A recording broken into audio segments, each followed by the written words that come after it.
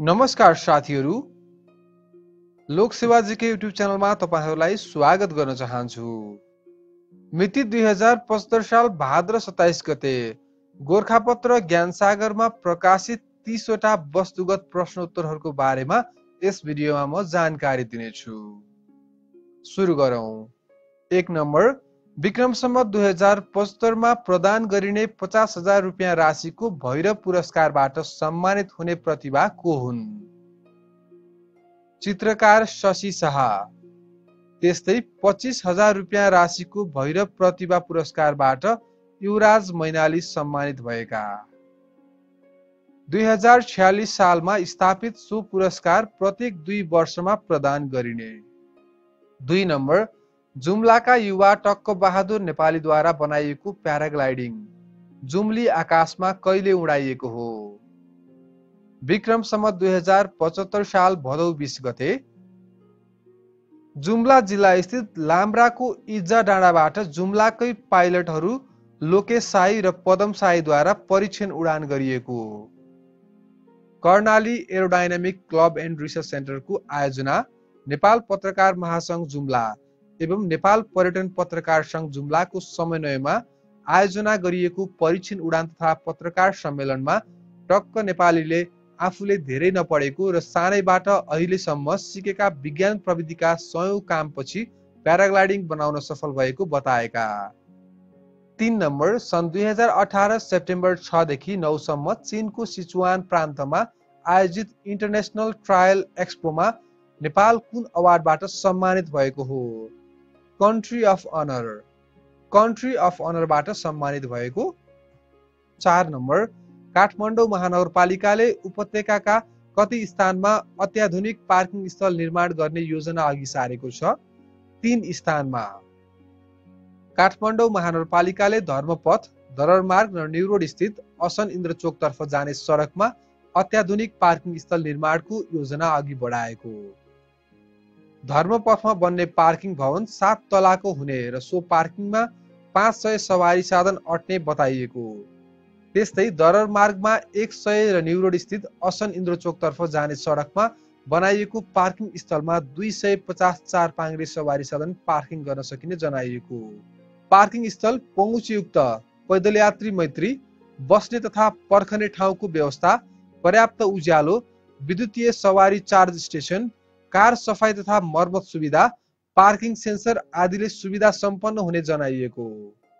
पाँच नम्बर सन् दुई हजार अठार सेप्टेम्बरमा म्यानमारमा आयोजित mister model of world two thousand एटिनको उपाधि जित्ने मोडल को हुन्? Nepali model Digpal Karki. Bharat Thailand Indonesia चीन लगायतका अन्य नौजना प्रतिस्पर्धीलाई पछि पार्दै कार्कीले सो उपाधि जितेका। छ नम्बर विक्रमसम्म दुई हजार पचहत्तर भदौ बाइसमा मनाइएको निजामती सेवा दिवसको नारा के हो? नतिजामुखी प्रशासन समृद्धि र सुशासन। नतिजामुखी प्रशासन समृद्धि र सुशासन। सात नम्बर विक्रमसम्म दुई हजार पचहत्तरको उत्कृष्ट निजामती सेवा पुरस्कार कस कसलाई प्रदान गरियो? राधिका अर्याल सहसचिव महिला बालबालिका तथा ज्येष्ठ नागरिक मन्त्रालय। धनराज ग्यावाली सहसचिव कानुन न्याय तथा संसदीय मामिला मन्त्रालय। लोकराज पराजुली सहसचिव उच्च सरकारी वकिल कार्यालय ललितपुर। सुनिल कुमार दास खानेपानी तथा ढल निकास विभाग। पदम कुमार मैनाली सहसचिव सहरी विकास तथा भवन निर्माण विभाग। दीपक अधिकारी सहसचिव परराष्ट्र मन्त्रालय। हरिशरण पुडासैनी सहसचिव गृह मन्त्रालय। टिकाराम राई उपसचिव धनकुटा नगरपालिका गोविन्द घिमिरे शाखा अधिकृत अख्तियार दुरुपयोग अनुसन्धान आयोग र गोपाल प्रसाद दाहाल शाखा अधिकृत प्रधानमन्त्री तथा मन्त्री परिषद कार्यालय। सो पुरस्कारको राशि जनै एक लाख रुपियाँ रहेको। त्यसै गरी पचास हजार रुपियाँ राशिको निजामती सेवा पुरस्कारबाट तिसजना निजामती कर्मचारी पुरस्कृत भएका।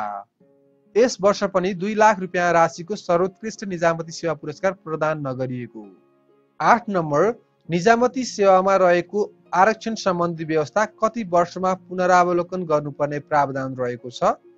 प्रत्येक दस वर्षमा। नेपालको निजामती सेवामा आरक्षणको व्यवस्था निजामती सेवा नियमावलीमा दोस्रो संशोधन गरी विक्रमसम्म दुई हजार चौसठीदेखि प्रारम्भ गरिएको नौ नम्बर नेपाल र चीनबीच पारवाहन सम्झौताको कार्यविधि प्रोटोकलमा कहिले सहमति भएको हो? सन् दुई हजार अठार सेप्टेम्बर छमा यसै गरी नेपाल र चीनबीच दुई वर्ष अघि भएको पारवाहन तथा यातायात सम्झौता कार्यान्वयनमा आउने बाटो खुल्ला भएको। कार्यविधि अनुसार नेपालले आफूलाई सहज हुने चिनको कुनै पनि बन्दरगाह प्रयोग गर्न पाउने। त्यस्तै बन्दरगाहसम्म छिटो र उपयुक्त हुने रुट प्रयोग गर्न दिन चिनिया पक्ष सहमत भएको। सहमति अनुसार नेपालले चिनसँग जोडिएका छवटै नाकालाई पारवाहनका लागि इन्ट्री एक्जिट पोइन्टको रूपमा प्रयोग गर्न सक्ने सहमति भएको त्यस्तै बन्दरगाहसम्मको पहुँचका लागि नेपालले चिनका रेल इनल्यान्ड वाटरवेज र अन्य यातायातका माध्यम पनि प्रयोग गर्न सक्ने। प्रधानमन्त्री केपी शर्मा ओली दुई हजार बहत्तर चैतमा चीन भ्रमणमा रहँदा दुई देशबीच पारवाहन तथा यातायात सम्झौता भएको थियो। गत असारमा प्रधानमन्त्री ओली चीन भ्रमणमा रहँदा तयारी नपुगेको भन्दै दुई हजार पचहत्तर असोज पन्ध्रभित्र टुङ्ग्याउने सहमति भए अनुरूप दुई देशबीच लासा बेजिङ र तेस्रो पटक काठमाडौँमा बैठक सम्पन्न भएको। दस नम्बर उन्चालिसौँ राष्ट्रिय शिक्षा दिवस एवं बाहन्नौ अन्तर्राष्ट्रिय साक्षरता दिवस दुई हजार पचहत्तरको आदर्श वाक्य के हो? समाजवाद उन्मुख समृद्ध राष्ट्र निर्माणको आधार। दक्ष जनशक्ति विकास एवं दिगो शैक्षिक पूर्वाधार। एघार नम्बर विक्रमसम्म दुई हजार पचहत्तर भदौ महिनासम्म देशभर पूर्ण साक्षर घोषित जिल्ला कति रहेका छन्? सडचालिस जिल्ला। बाह्र नम्बर शिक्षाको जरो तितो हुन्छ तर फल चाहिँ मिठो हुन्छ भन्ने विचारक को हुन्? अरस्तु। तेह्र नम्बर विक्रमसम्म दुई हजार पचहत्तरमा माध्यमिक शिक्षा परीक्षा कक्षा दसमा राष्ट्रिय स्तरमा प्रथम हुन सफल सामुदायिक विद्यालय कुन हो? शीतला देवी सामुदायिक मावि पोखरा कास्की। शीतला देवी सामुदायिक मावि पोखरा कास्की। द्वितीय त्रिपद्म विद्याश्रम माध्यमिक विद्यालय पुलचोक ललितपुर। र तृतीय कालिका मावि कालिका नगर बुटोल रूपन्देही संस्थागत तर्फ प्रथम मदरल्यान्ड मावि मासपार पोखरा कास्की। द्वितीय जेम्स मावि धापाखेल ललितपुर। तृतीय ज्ञान निकेतन मावि शङ्खमूल काठमाडौँ। माध्यमिक शिक्षा उत्तीर्ण परीक्षा कक्षा बाह्र सामुदायिक तर्फ प्रथम अमर्ष्य मावि पोखरा कास्की। द्वितीय विश्व निकेतन मावि त्रिपुरेश्वर काठमाडौँ। तृतीय वज्रबाराही मावि चापागाउँ ललितपुर। संस्थागत तर्फ प्रथम एसओएस हर्मन माइदर मावि सानोठिमी भक्तपुर। द्वितीय Everest English boarding school Biratnagar Morang. तृतीय national secondary school Imadol Lalitpur चौध नम्बर गलत ज्ञानबाट सधैँभरि होसियार बन। यो निरक्षरता भन्दा पनि खतरनाक हुन्छ भन्ने विचारक को हुन्? जर्ज बनार्ड शाह बेलायती साहित्यकार। पन्ध्र नम्बर अन्तर्राष्ट्रिय फौजदारी अदालतको प्रधान कार्यालय कहाँ रहेको छ? नेदरल्यान्डको हेगमा।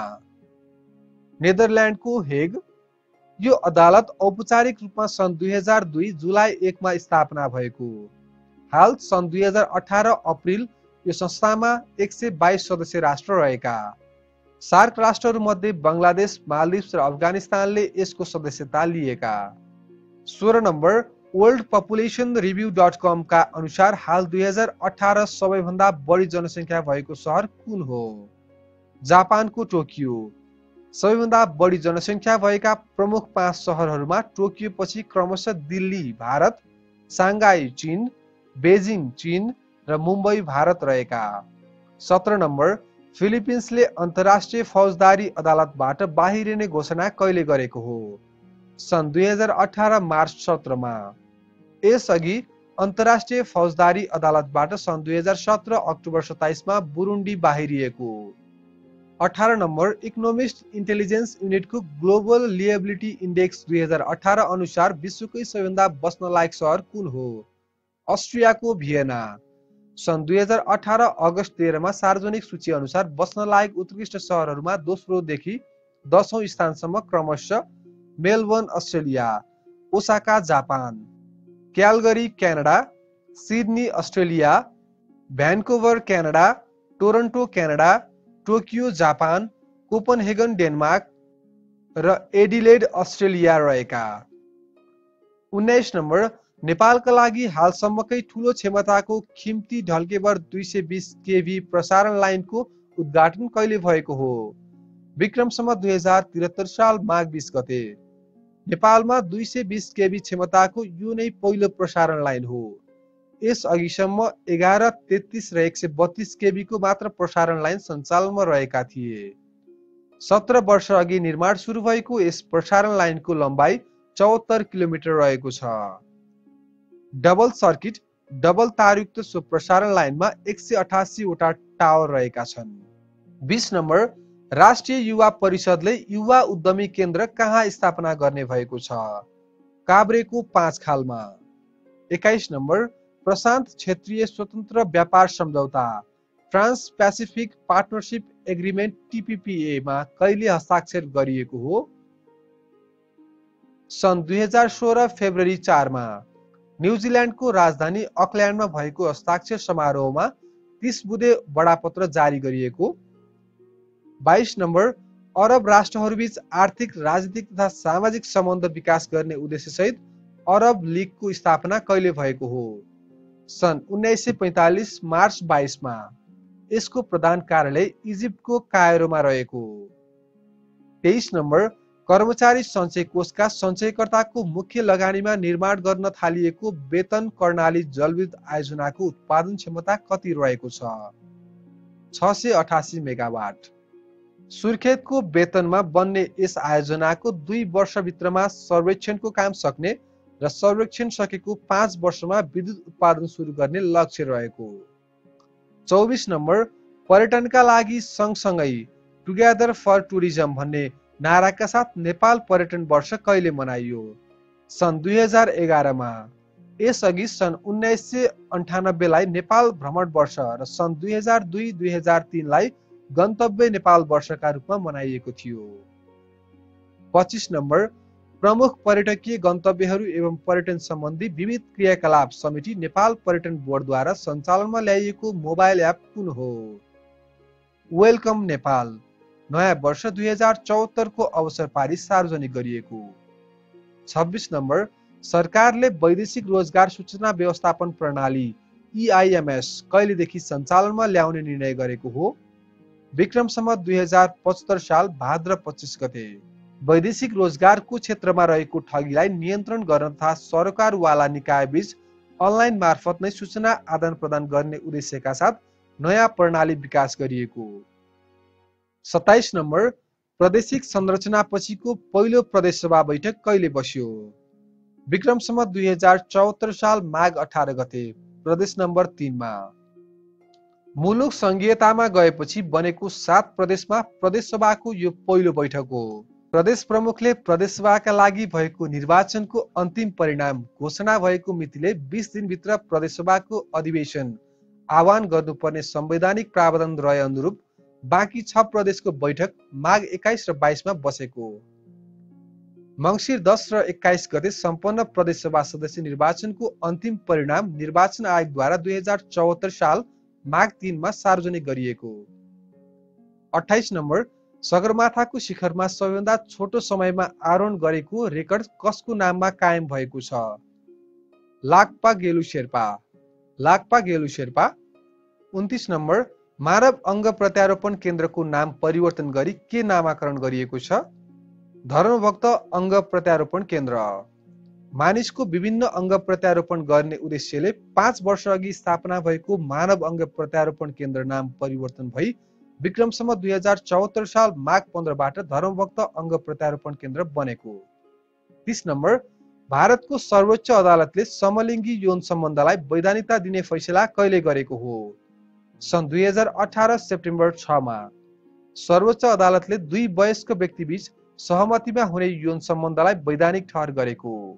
हस्त साथीहरू आजको लोकसेवा सम्बन्धी यस भिडियो यति नै। तपाईँलाई यो भिडियो कस्तो लाग्यो कृपया कमेन्ट बक्समा आफ्नो प्रतिक्रिया दिनुहोला।